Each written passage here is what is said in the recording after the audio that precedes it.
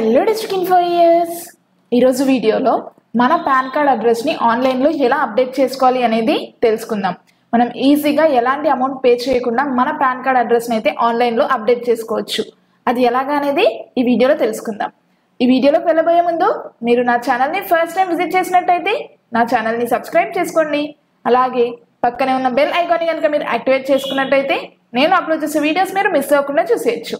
ఇప్పుడు మనం మన పాన్ కార్డ్కి సంబంధించిన అడ్రస్ని మనం ఆన్లైన్లో ఎలా అప్డేట్ చేసుకోవాలి అనేది తెలుసుకుందాం. ముందుగా బ్రౌజర్ ఓపెన్ చేస్తున్నాను. బ్రౌజర్లో సో ఈ వెబ్సైట్ యొక్క లింక్ నేను డిస్క్రిప్షన్లో ప్రొవైడ్ చేస్తాను. సో డిస్క్రిప్షన్లో ఉన్న లింక్ పైన క్లిక్ చేయగానే మీకు వెబ్సైట్ అయితే ఈ విధంగా ఓపెన్ అయిపోతుంది. సో ఇక్కడ నుంచి మనం ఈజీగా మన అడ్రస్ని అయితే అప్డేట్ చేసుకోవచ్చు. సో ఫస్ట్ ఇక్కడ ఇన్స్ట్రక్షన్స్ చూడండి. So the address update facility is applicable only for Indian citizens. Those Aadhaar is already linked with PAN. So మన ఆధార్ కార్డుతో పాన్ కార్డ్ ఆల్రెడీ లింక్ అయి ఉంటే మాత్రమే మనము ఈ ఫెసిలిటీని యూజ్ చేసుకోవచ్చు. అలాగే మనం ఇది ఏంటి అంటే సో ఆధార్ ఈకేవైసీ మోడ్లో లేదంటే DG service DigiLocker service మోడ్లో మనము సో ఈ అప్డేట్ అనేది చేసుకోవచ్చు. సో మన ఆధార్ ఈకేవైసీ ద్వారా చేసుకుంటే మన యుఐడిఏఐ ప్రకారం మన అడ్రస్ ఎలా అయితే రిజిస్టర్ ఉందో సో అదే విధంగా ఓటీపీ అథెంటికేట్ చేసుకొని మనకి అడ్రస్ అయితే అప్డేట్ చేసుకోవడం జరుగుతుంది. సో ఇవన్నీ డీటెయిల్స్ మనం ఇప్పుడు ఎలా చేసుకోవాలి అనేది చూద్దాం.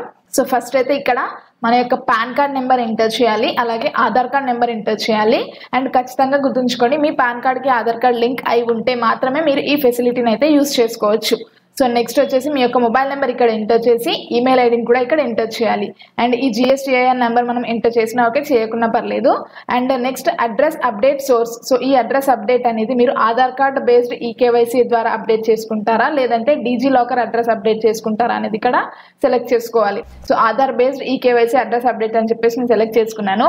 సో నెక్స్ట్ ఇక్కడ కనిపిస్తున్న క్యాప్చర్ కోడ్ని ఇక్కడ బాక్స్లో ఎంటర్ చేసి ఈ చెక్ బాక్స్ పైన టిక్ చేసి సబ్మిట్ చేయాలి. సో నేనైతే ఫస్ట్ ఈ డీటెయిల్స్ అన్ని ఎంటర్ చేస్తాను. సో చూడండి మనము ఈ డీటెయిల్స్ అన్ని ఎంటర్ చేసిన తర్వాత ఇక్కడ సెలెక్ట్ సోర్స్ పైన Aadhaar base e KYC address update అని క్లిక్ చేసి సో నెక్స్ట్ మనం ఇక్కడ క్యాప్చర్ కోడ్ ఎంటర్ చేస్తాను చూడండి. సో మనం ఇక్కడ Aadhaar base e KYC address update అని select చేసుకోగానే so the address will be fetch from Aadhaar base e KYC so Aadhaar base e KYC ద్వారా మనకి అడ్రస్ అనేది అప్డేట్ అవుతుంది అని చెప్పేసి నోటిఫికేషన్ వచ్చింది. సో ఇక్కడ ఓకే అని క్లిక్ చేసి ఈ క్యాప్చర్ కోడ్ని మనం ఇక్కడ ఎంటర్ చేయాలి. సో క్యాప్చర్ కోడ్ ఎంటర్ చేసి ఈ చెక్ బాక్స్ పైన టిక్ చేసి సబ్మిట్ చేయాలి. సబ్మిట్ చేయగానే చూడండి. So please verify your details అని చెప్పేసి వచ్చింది. సో నెక్స్ట్ ఇక్కడ మన యొక్క PAN number Aadhaar number mobile number అలాగే ఈమెయిల్ ఐడి సో మనం ఎంటర్ చేసిన డీటెయిల్స్ అయితే మనకి ఇక్కడ మళ్ళీ వచ్చాయి. సో డీటెయిల్స్ అన్నిటిని వెరిఫై చేసుకొని సో ఇక్కడ క్యాప్చా కోడ్ ఉంది కదా. సో ఈ క్యాప్చా కోడ్ని మళ్ళీ మనం ఇక్కడ ఎంటర్ చేసి సో మళ్ళీ ఇక్కడ I confirm use my Aadhaar details for PAN application అని చెప్పేసి ఉంది కదా. సో ఈ చెక్ బాక్స్ పైన టిక్ చేసి సబ్మిట్ చేయాలి. సో సబ్మిట్ చేయగానే చూడండి సో మన ఆధార్ కార్డుతో రిజిస్టర్ అయిన మొబైల్ నెంబర్కి ఓటీపీ అయితే సెండ్ చేయడం జరుగుతుంది. సో ఆ ఓటీపీని మనం ఇక్కడ ఎంటర్ చేసి నెక్స్ట్ ఈ క్యాప్చర్ కోడ్ని మళ్ళీ బాక్స్లో ఎంటర్ చేసి ఈ చెక్ బాక్స్ టిక్ చేసి మళ్ళీ మనం సబ్మిట్ చేయాలి.